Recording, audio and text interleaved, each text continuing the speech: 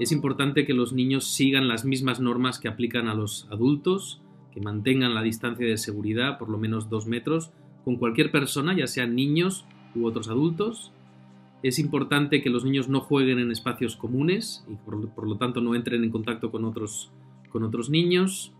Em, los niños van a poder salir con algún eh, juguete y será importante que este juguete luego eh, se lave a conciencia. Los niños deberán llevar mascarilla si es, si es posible, sobre todo los mayores de 4 años. Y una vez llegados a casa, lavar eh, muy bien las manos eh, con agua y jabón por lo menos durante 30 segundos y si es posible cambiar la ropa de los niños que han salido a la calle.